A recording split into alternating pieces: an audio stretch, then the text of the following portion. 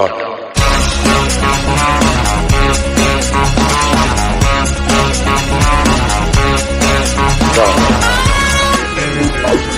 का इंतज़ार तो ग्यारह मुल्कों की पुलिस कर रही है, लेकिन एक बात समझना।